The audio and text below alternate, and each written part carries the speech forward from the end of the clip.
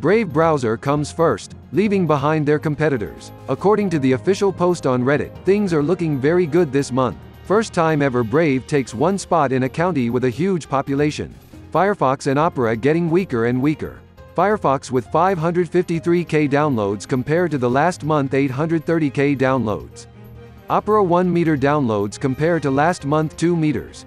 Brave is on an upper move with 2 meters monthly downloads now.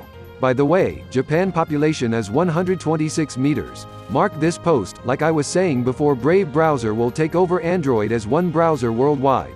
The world of blockchain is unpredictable. See you soon. The news release partner Stex.com.